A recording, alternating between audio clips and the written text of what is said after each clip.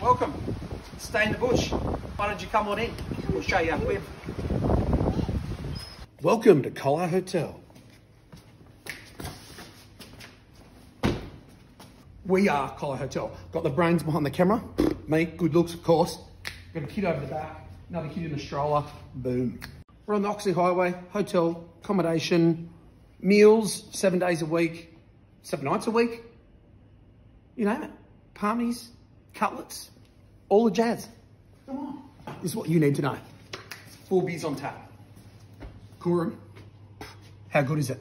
You put warm stuff in, cold stuff comes out. You name it. Beer, wine, spirits. Booyakasha. Or you can eat tomato sauce. Don't get that anywhere else. Other places you get satchels. It's not here.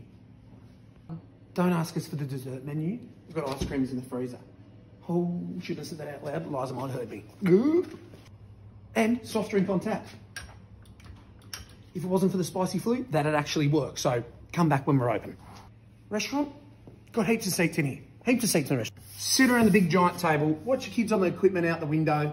Circular Quay hasn't even got a view like that. Oi, stay in the bush followers. Come with me. Let's go and have a squiz at the accommodation. You got double bed, TV, microwave, fridge, air conditioner, hot shower. What more else do you need? All you're missing is the hangover.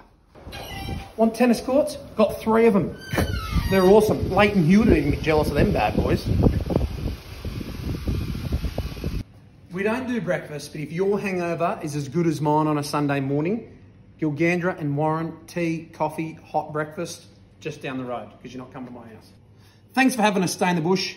And just remember, when this is all over and done with, Collie Hotel is a destination on your next adventure.